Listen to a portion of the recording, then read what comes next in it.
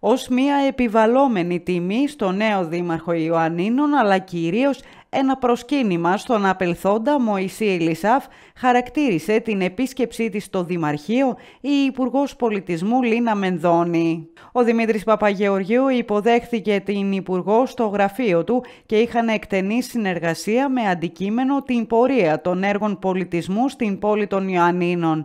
Στη συνάντηση μετήχαν ακόμη οι υπηρεσιακοί παράγοντες του Υπουργείου, η προϊσταμένη της Εφορίας Αρχαιοτήτων Βαρβάρα Παπαδοπούλου, η πρόεδρος του Δημοτικού Συμβουλίου Ελένη Ακονίδου και οι αντιδήμαρχοι Χριστίνα Κοτσαντή και Γιώργος Αρλέτος. Κοινή εκτίμηση είναι ότι τα έργα στο κάστρο των Ιωαννίνων εξελίσσονται με ικανοποιητικούς ρυθμούς και όπως ανέφερε η Υπουργός, όλη η περιοχή μεταμορφώνεται.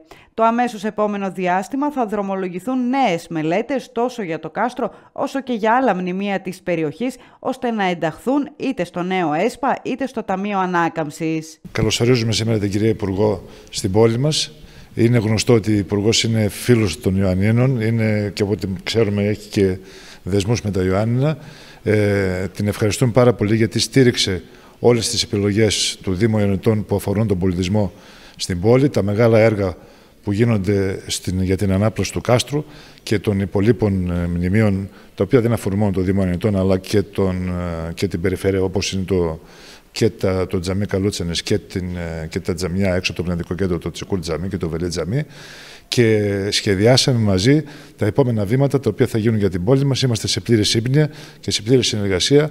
Έχουμε και μερικές καινούργιες ιδέες, τις οποίες θα τις υλοποιήσουμε μόλις τις οριμάσουμε. Κυρία Υπουργέ, ε, ευχαριστούμε πάρα πολύ.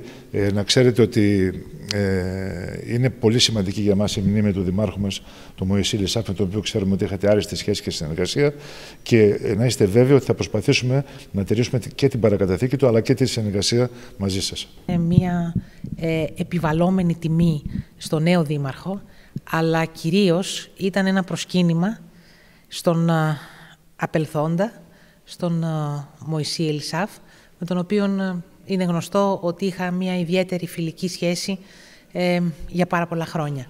Νομίζω ότι η παρακαταθήκη ε, του Μωυσή είναι κατά κύριο λόγο η προσφορά ε, όλων των συνεργατών στην πόλη, αλλά και όλων των φίλων στην πόλη. Έτσι με τον Δήμαρχο και με τους συνεργάτες του είχα, είχαμε μια πολύ καλή συζήτηση για τα έργα τα οποία, όπως ξέρετε, είχαμε δρομολογήσει εδώ και 1,5-2 χρόνια περίπου και τα οποία τώρα ξεκινάνε ε, και αφορούν την προσβασιμότητα στο κάστρο, ε, την ανάπλαση των, ε, των δύο ακροπόλεων του Ιτς Καλέ και του, του χώρου που είναι το τζαμί, το Ασλάν Πασά. Ε, προχωρούν οι μελέτες, το έργο θα ξεκινήσει πολύ γρήγορα. Αύριο είναι μια τελευταία συζήτηση στο Κεντρικό Αρχαιολογικό Συμβούλιο, ώστε ο Δήμος να μπορέσει να ξεκινήσει κανονικά την εκτέλεση του έργου. Ε, παράλληλα, το κάστρο των Ιωαννίνων, το οποίο αποτελεί ένα μνημείο σύμβολο για την πόλη των Ιωαννίνων και συγχρόνως ένα πολύ μεγάλο ε, συγκριτικό πλεονέκτημα της πόλης. Είναι στις, ε, στα σχέδιά μας, στον προγραμματισμό μας. Θα προχωρήσει στην επόμενη προγραμματική περίοδο. Τώρα οριμάζουν οι αναγκαίες μελέτες. Οπότε, σε συνεργασία με την ε, Περιφέρεια Υπήρου και με τον Δήμο Ιωαννητών, να μπορέσει να προχωρήσει και η ανάπλαση του κάστρου. Πριν από λίγο ήμουνα στο τζαμί της Καλούτσιανης, όπου εκεί ξεκινάει, έχει ήδη ξεκινήσει ε, τις τελευταίες εβδομάδες το έργο της συντήρησης και στις 7 Απριλίου δημοπρατείται και το έργο της αποκατάστασης του μνημείου.